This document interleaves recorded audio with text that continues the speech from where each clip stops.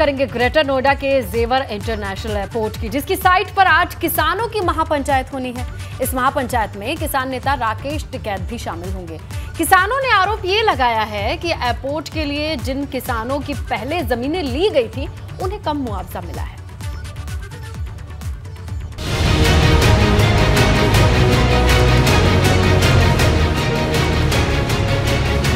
Greater Noida के जेवर airport का काम जिस तेज़ी से चल रहा है, उसमें किसान अड़ंगा लगा सकते हैं। ऐसा हम नहीं कह रहे, बल्कि किसानों की आज होने वाली महापंचायत में इस तरह का फैसला लिया जा सकता है। किसानों की महापंचायत में राकेश टिकैत भी शामिल हो रहे हैं, जो किसानों के मुद्दों को लेकर सरकार के खिलाफ हल्ला बोलेंगे। सरकार ने हमारे जो वादे किए थे, किसानों को बिजली मुफ़्त दी जाएगी। मुफ़्त की बजाय और उनके मीटर लगा दिए किसानों के ट्वेलन पे। और मुआवजे की भी चार गुना मुआवजा सर्कल रेट का देने का वायदा किया, वो भी नहीं दिया है।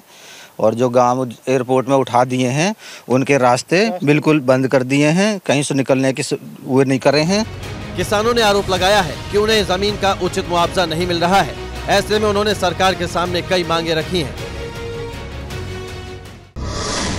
छह गाँव के किसानों ने उचित मुआवजा नहीं मिलने पर ज़मीन देने से इनकार कर दिया है।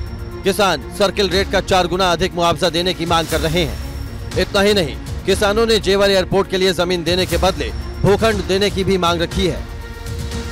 साथ ही निजी कंपनियों में स्थानीय युवाओं को रोज़गार और ट्रैक्टर पर लगे एनजीटी की 10 साल की पाबंदी को हटाने की भी मांग रखी है।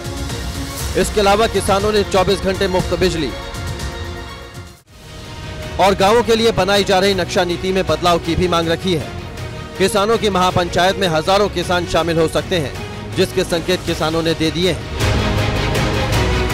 जो किसानों के मुद्दे हैं, उन्हीं पर ज़्यादा हुआ है, क्योंकि यहाँ एयरपोर्ट बनना हम भी चाहते हैं, विकास होना चाहिए।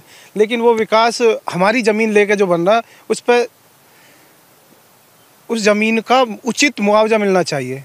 तो उस मुआवजे के चक्कर में ही वो उन्होंने पहले चरण की जो ज़मीन ली थी, उसमें उचित मुआवजा हम लोगों को नहीं दिया गया। जिसकी वजह से हम ये प्रोटेक्ट मतलब मजबूरी में करना चाह रहे हैं कि हमें उचित मुआवजा दिया जाए और हमारी मांगें मानी जाए। किसानों ने दावा किया है कि अगर उनकी मांगे नहीं मानी गई तो बड़ा आंदोलन होगा, जिसकी तैयारी किसानों ने कर ली है। इसका फैसला भी किसानों की महापंचायत में लिया जाएगा। Bureau report, ABP Ganga.